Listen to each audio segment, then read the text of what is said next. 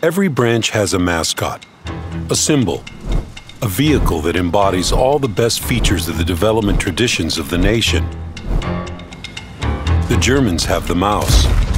The French have the Batchat. Whether the Progetto M35 Mod 46 will become such a symbol of its branch is still unknown, but why not?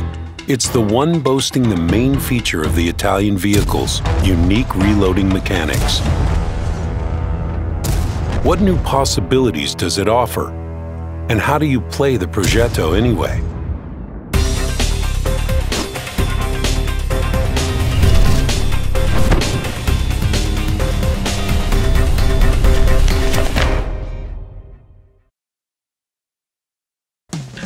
The Progetto 46 is a Tier 8 medium tank, an elegant vehicle. Italian designers know how to make beautiful things, be it a stool, a chandelier, a sports car, or even military equipment. The most interesting part of the tank is its gun. It's equipped with a new mechanic, auto reloading. It combines classic and cyclic loading characteristics with those of a drum. The magazine contains three shells, which are loaded one at a time. Auto reloading starts right after a shot is fired, which means the Progetto 46 enables you to shoot in two modes. Single shots or a series of them, with two or three shells fired, followed by a short interval. It grants flexibility that no other vehicle possesses. But keep in mind that you can't load shells of different types into one magazine. If you queue them, the ammunition type will change only after the magazine is empty. For a quick change of ammunition, the whole magazine will need to be loaded anew. To understand the best ways to use the Progetto 46's magazine, let's have a look at its characteristics. Reloading from empty takes almost 28 seconds. Each shell has a different loading time. The third one takes about 12 seconds, while the first one takes less than 8, which places it on the level of the Panther II and the T-54 first prototype. The average damage per shot is 240, which is normal for a vehicle of this type and tier. Damage per minute is 1,877, but that value may vary. The Progetto 46 DPM depends on how you fire. Maximum DPM is reached when you fire only the first shell and wait for it to reload. As for the other gun characteristics, there's nothing to scoff at. Good armor penetration, perfect accuracy, and quick aiming and magazine reload times. Well, the tank has good gun characteristics, offering unique possibilities. Let's see how the Progetto 46 implements them. A streamlined turret, clever armor design, everything suggests a solid ability to absorb damage, including the gun elevation and depression angles, minus 9 degrees, an excellent value. But rough figures destroy this illusion. No depression angle can help you with the 60 millimeters of front armor.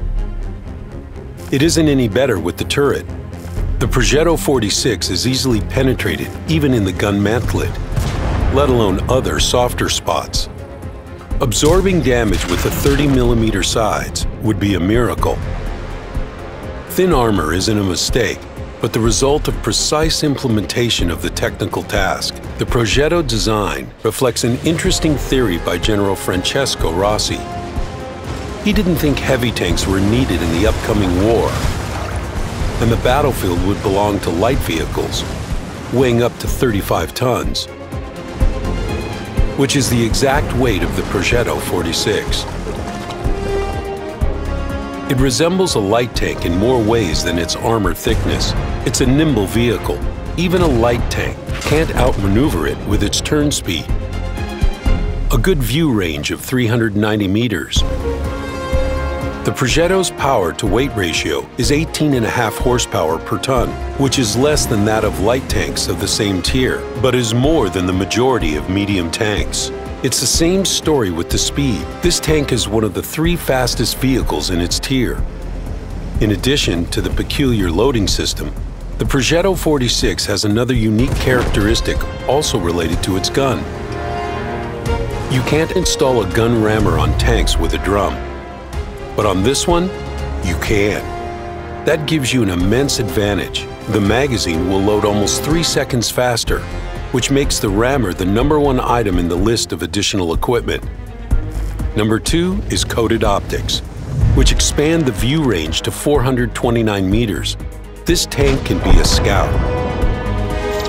If you install ventilation, train the crew and feed them spaghetti, you'll increase the view range to 466 meters. The third shell will be reloaded within nine and a half seconds, while the first will take a little over six seconds. Improved equipment and pre-battle directives help create a solid experience. The Progetto M35 Mod 46 is a quick tank with thin armor and a good gun. So, you need to play it carefully. To play it efficiently, follow these simple rules.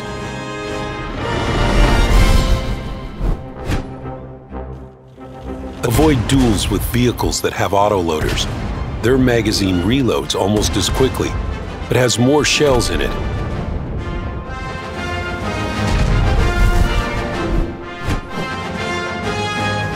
Try to fire one shell at a time.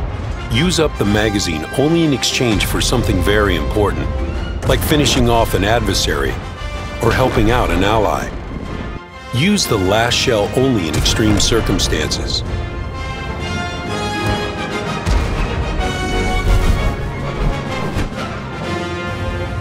Monitor the shell reloading time.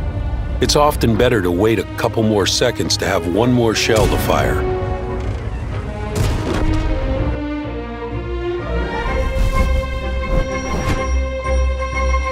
The power of the Progetto 46 is in its versatility. It's up to you to decide when to use the ace in your sleeve and the shells that come with it. Assess the situation.